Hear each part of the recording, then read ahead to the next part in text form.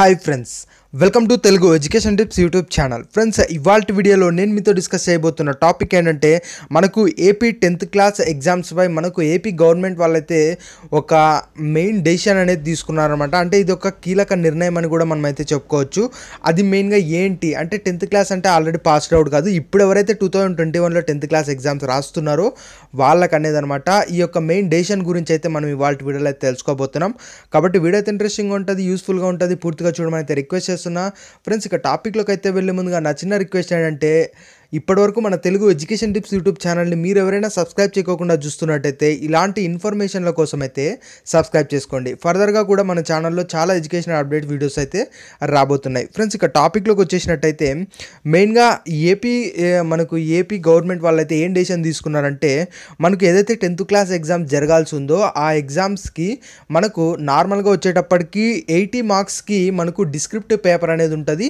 ఇక twenty marks అనేది మనకు స్కూల్ వాళ్ళు ఇంటర్నల్ మార్క్స్ అయితే వేయాల్సి ఉంటుంది. బట్ ఈ టూ థౌజండ్ ట్వంటీ వన్ ఇయర్కి మనకి ఏం చేశారంటే ఇక్కడ కంప్లీట్గా మనకు ఏదైతే పేపర్ హండ్రెడ్ మార్క్స్ ఉందో హండ్రెడ్ మార్క్స్ మనకి ఏం చేశారంటే మనకు డిస్క్రిప్టివ్గానే పెట్టారు. అంటే మీరు కేవలం రాయాల్సే ఉంటుంది. అంటే మనకు మీ స్కూల్ నుంచి ఏదైతే ట్వంటీ మార్క్స్ వస్తాయో అవనేది ఇక స్కూల్ వాళ్ళు వేయడానికి అయితే ఛాన్స్ లేదు.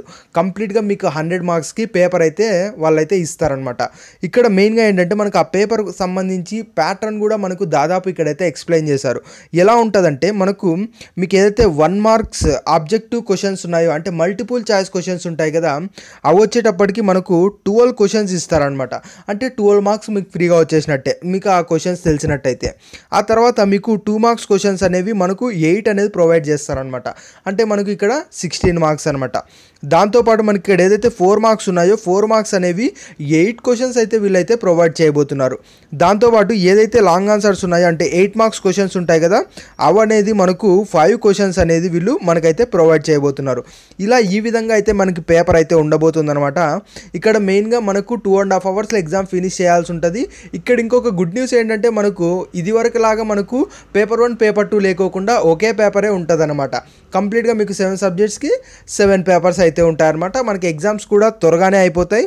చాలా సింపుల్గా ఎగ్జామ్స్ అనేవి జరుగుతాయి అనమాట బట్ ఇక్కడ మనకు కొంచెం ఆలోచించాల్సింది ఏంటంటే మనకు ఇది వరకు ట్వంటీ ఇంటర్నల్ మార్క్స్ అనేవి మన స్కూల్ నుంచి ఉన్నట్టయితే మనకి మన స్కూల్ వాళ్ళే కాబట్టి ఒక మాట అనన్న అంటే మనకు ఏ విధంగా మన పర్ఫార్మెన్స్ ఉన్నా సరే మనకు ట్వంటీ మార్క్స్ అయితే ఈజీగా పడిపోతాయి ప్రతి ఒక్క స్టూడెంట్కి అనమాట కానీ ఇక్కడ హండ్రెడ్ మార్క్స్ అనేది మనకి డిస్క్రిప్టివ్లో ఉంది కాబట్టి ఎవరికైతే బాగా చదువుతారో వాళ్ళకి మాత్రమే మనకు హైయెస్ట్ స్కోర్ వచ్చే ఛాన్స్ అయితే ఉంటాయన్నమాట.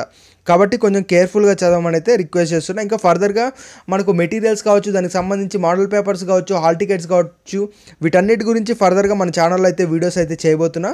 కాబట్టి ఇప్పటివరకు ఎవరైనా మన ఛానల్ అయితే సబ్స్క్రైబ్ చేయకోకుండా చూస్తున్నట్టయితే సబ్స్క్రైబ్ చేసుకోండి.